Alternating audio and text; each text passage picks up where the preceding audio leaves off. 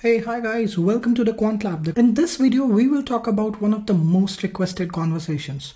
We will get into understanding how to get real-time market data when you work with trading systems or when you're trying to design algo trading software. We will talk about the core concepts and we'll also look at some provider APIs like Dhan and Zerodha. Both of these are specific to India, but uh, you know the concepts are really translatable and uh, we'll look at all of them in detail. Let's get started. Before I do that, uh, in case you're new to my channel, please subscribe. I make tech videos around trading and financial engineering, talk a lot about AI, machine learning, techniques that can help you boost your understanding of financial engineering, be more aware about the role that technology plays in finance. Let's get started. So what I have on my screen is a very simple diagram. So let's get the concepts first and then we'll talk about the provider APIs. Let's look at the concepts first. So there are three concepts primarily that we usually uh, hear about or work with. One or first is using APIs. The second can be using Python clients and the third is using WebSockets. Both of these three provide uh, almost similar functionalities except WebSockets makes it more real time.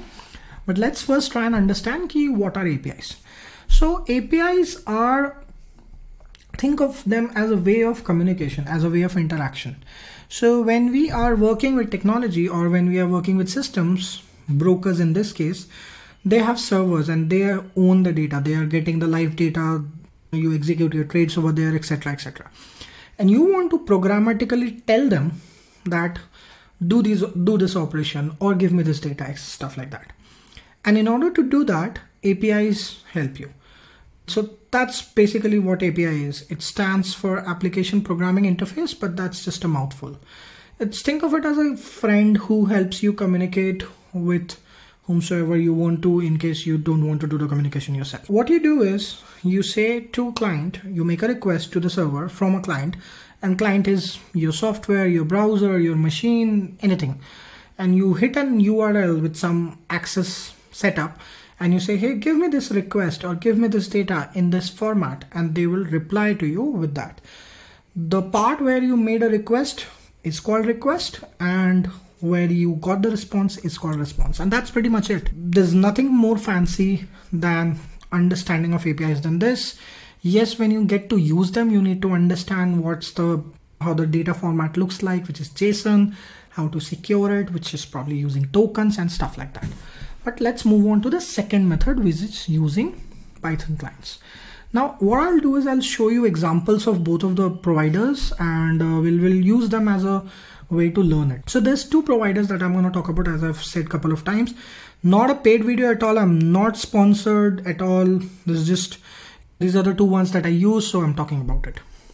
So the first is Dhan HQ and uh, this is the Python client for communicating. Behind the scenes, they also use the API.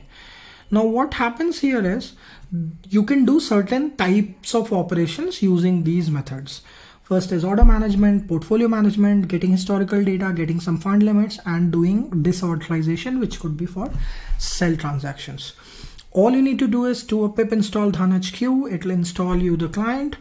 We will talk about the first thing you need to do is set up an object, set the client ID an access token and we'll talk about how to get that shortly. And then after that, it's well documented. You just have an example of pretty much doing all kinds of operation and you should be able to figure this out. Like you can get the trade history, you can get historical minute chart from here, you can get intraday daily charts and stuff like that.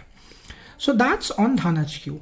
Similarly, you have PyKite Connect, which is from Zerodha, and this is a much more exhaustive library, I'll say support some much larger types of operation because they have been in the market for a very long time. Same stuff, you do a pip install kite connect, you have to get the API key from them and excuse me, should be able to get your API key easily.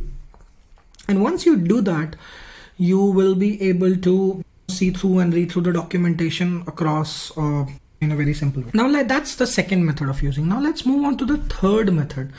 So we talked about APIs, which are request response based. We talked about Python, which is more easy. I would say you have other programming languages as well for uh, at least for Zerodha, I'm sure of that. The third method is more like a WebSocket.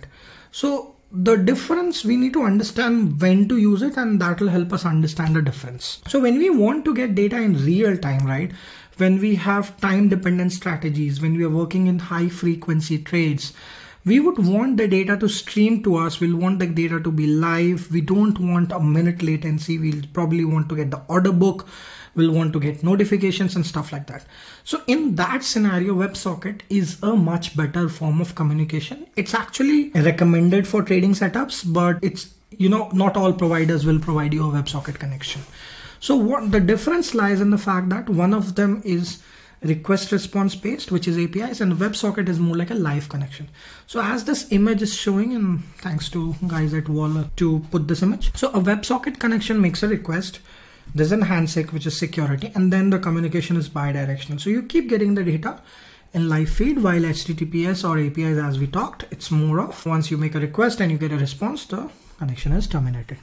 So those are the three different ways api Python clients and WebSockets. Now let's go on to exploring the APIs or exploring the type of operations and understanding these setups and how to get access to them, etc. in much more detail. So with Python or with, with Zerodha, you have a website called Kite Connect and you should be able to just go here, log in and uh, request for your keys. Also, you can go to docs, which is very extensive. You will be able to see all sorts of details about different libraries python go java php node uh, rest uh, all, all of those. You will be also able to see the response structures that this api generally provides and you can see that. You also have a good explanation and setup of how websocket works and how the streaming part of it works so you can very well understand how it is operating. And uh, you get the whole message structure and the data etc you'll need to probably break the data and do some bit of parsing but that's required. And then you can work with obviously historical candle data and they provide you different frequencies like minute day 3 minute 5 minute 10 minutes so different varying frequencies is what they they support. You can do even mutual funds on API this is a very mature library next up uh, let's go to dhan and uh, this is free so I would probably suggest to get started with this. I think Zerodha is paid. Uh, I could be wrong. I checked a few I think months back. So you could, you just need to click individuals and geeks and uh, you can fill up this form for them to contact you or probably you'll get an automated mail or something like that. But when you click on API docs, this is the part which is important to read and I'll probably zoom in if you are an individual trader you just need to go to the website which is and uh, you can just get a free access to the trading apis so you'll be able to get token and a client id you can set up and using that you'll be able to work programmatically which is very easy and straightforward to set up. In the next video or the one after that i'll probably put a detailed explanation of how to do all of this in live and using real money and stuff like that. So uh, very simple, you can do a pip install HQ and you can work with it as I talked a couple of minutes back. So I'll not go into details here. This supports slightly lesser type of operations compared to Zerodha. You have orders, portfolio, EDs, funds, etc. Similar, but they have a more exhaustive list. And uh, what you can also do is you can get onto the APIs itself, which is probably somewhere, I know it used to be somewhere here. Just go to api.dhan.co and it will give you the open API spec for the entire API structures that they support, all the endpoints. So you have order endpoint here, you can do charts. So let's probably just take a look at how the chart one looks. So when you make a post call and uh, you know in APIs, there's a couple of methods that are supported. Methods are think of them as type of operations get post update delete. Probably just spend a little 15 minute online or youtube in trying to learn about it. Postman is a great tool. You should be able to you know gain a good understanding of postman and api methods in about 10 15 to 20 minutes using good videos. In the next video i will obviously talk about in much more detail but in case you want to get started before that please do here's the endpoint here's the url which will be hit. So just let's take a look here.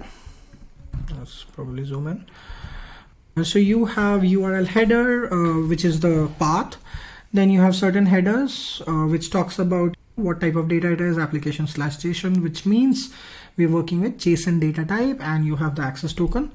Then you have some security id and then you talk about exchange segment and instrument. An exchange segment is just the certain preset options which means do you want to deal with cash fno currency bse mcx etc etc and allowed values for index are index equity stuff like that which uh, on which you are essentially querying and then you get a response which is OHLCV and start time. Similarly, you can go to a one day candle and the data I believe will just change. You'll add, add some more parameters like from date and to date and you'll you know get the data.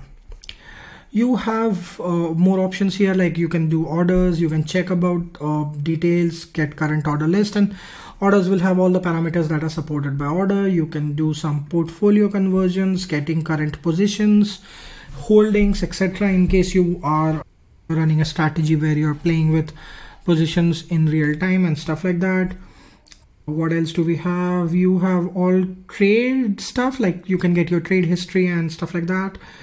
You can check your ledger report and you can also get the fundamental details. I think it definitely supports lesser number of operations compared to Zerodha but i believe this is enough. My goal is to be able to get data in real time uh, and honestly one minute candle is absolutely fine with me. I wished if they supported more time filters but i think one minute is good enough for me. I can work with that. And uh, you can run your strategies and you can probably do some executions using that. Definitely it will require some playing around. So try and learn postman a bit of python which i have talked about a lot in my previous videos. And uh, once you're comfortable with reading the data try to code the strategies and then you should be able to towards more closer to the journey of automating your trades. All right that was the video. Thank you for sticking for so long. If you have listened to the end bye bye